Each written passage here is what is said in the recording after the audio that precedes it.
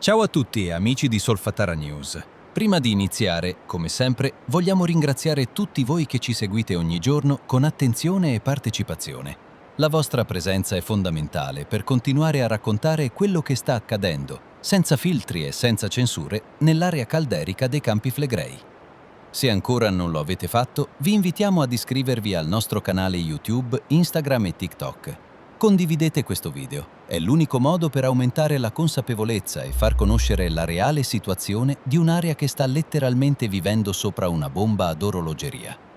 Oggi parliamo ancora una volta della zona più critica di tutta l'area flegrea, la Solfatara e la Fumarola di Pisciarelli, epicentro del degassamento più attivo e instabile. I nostri droni, con riprese esclusive effettuate poche ore fa, mostrano una situazione anomala, quasi inquietante. Assenza totale di fumo da tutta l'area di Pisciarelli, dove fino a ieri si registrava una pressione visibile e costante. Chi ci segue da tempo sa che questo fenomeno non è nuovo, anzi, è già accaduto più volte che l'assenza improvvisa di degassamento precedesse eventi sismici importanti, anche superiori al 4.0 di magnitudo. Quando il sistema idrotermale si zittisce, così, improvvisamente, non è mai un buon segno. È come se il vulcano stesse trattenendo il respiro, pronto a rilasciare energia. Ma ciò che rende questa situazione ancora più assurda e preoccupante è quello che sta succedendo proprio oggi e domani, 25 e 26 luglio, nella stessa zona. All'ippodromo di Agnano, a poche centinaia di metri dalla caldera attiva, si terrà il mega concerto del noto rapper napoletano Geolier, che attirerà oltre 60.000 persone a serata. Sì, avete capito bene. 120.000 persone in due giorni radunate nella zona più fragile e monitorata del territorio. E per permettere tutto questo, il comune di Napoli ha addirittura chiuso tutte le strade circostanti, rendendo Agnano un'enorme area pedonale. Questo significa zero possibilità di evacuazione rapida in caso di emergenza.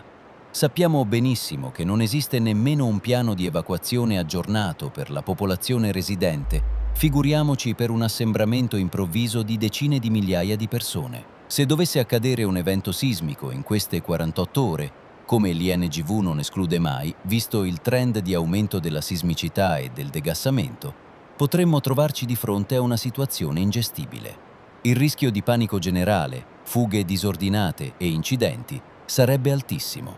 E non è finita. Per garantire lo svolgimento di questo evento, il Comune ha emanato un'ordinanza che impone la chiusura di tutte le attività commerciali della zona, bar, ristoranti, supermercati, venditori di ricambi nautici, officine, showroom di auto, tutti obbligati a chiudere nei giorni in cui lavorano di più, venerdì e sabato, creando rabbia e danni economici in una zona già fragile. Un'intera economia locale paralizzata, per un evento che, diciamolo chiaramente, poteva essere organizzato altrove, magari in una zona più sicura e con una viabilità che permetta una gestione dell'emergenza.